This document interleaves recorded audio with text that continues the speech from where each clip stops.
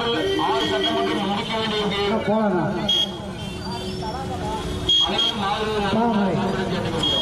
தாமரை சின்னத்திலே வாக்குகளை கேட்டு வருகிறார். திரு அண்ணாமலை அவர்கள் வருகிறார்.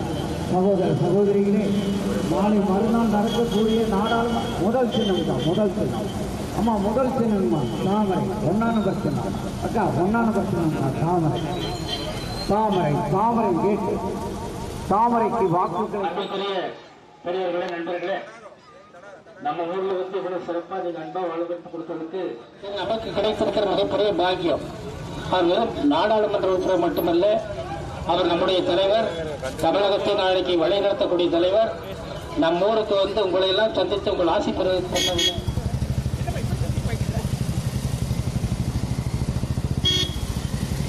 ஆனால் நாளைக்குள் ஆறு சட்டமன்றம் முடிக்க வேண்டிய போலண்ணா.